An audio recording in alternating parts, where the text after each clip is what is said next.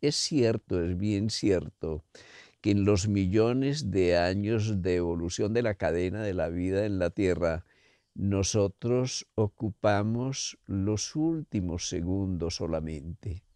Pero también es cierto que esos segundos han sido muy intensos, que a partir del hombre, a partir de nuestra humanidad, se han generado cambios profundos en la Tierra cambios que podemos mirar en un sentido positivo o en un sentido negativo.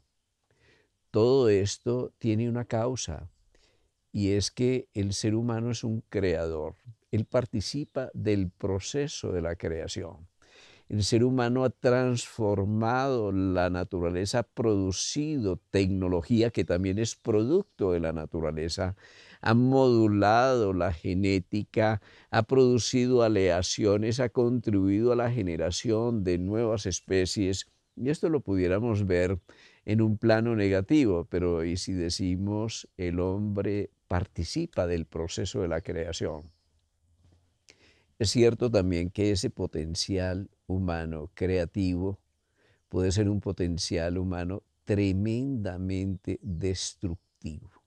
Es decir, que esa herramienta de conciencia reflexiva, de repensarnos, de concebir el mundo, de comprender la naturaleza, de estudiarla, de planificar el futuro, de educarnos, de acumular información para poderla utilizar, de reconocer nuestra biblioteca genética, todo esto que concierne a esa creatividad que reconoce la belleza y recrea la belleza en la escultura, en la pintura, en la poesía, el arte, todo esta, toda esta enorme capacidad que tiene el hombre de comprender estudiando cada partecita para poder armar el holograma a través de la ciencia, toda esta posibilidad mística que tiene el hombre, no solo de realizarse, sino de trascender y elevarse sobre su propia naturaleza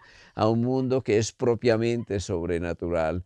Toda esta capacidad que el hombre tiene de inventar, de crear, de plasmar los sueños, de construir, nuevos patrones de relaciones entre las cosas, de construir grandes ciudades, de construir civilizaciones, no está al margen de la naturaleza. Es una faceta superior de la naturaleza.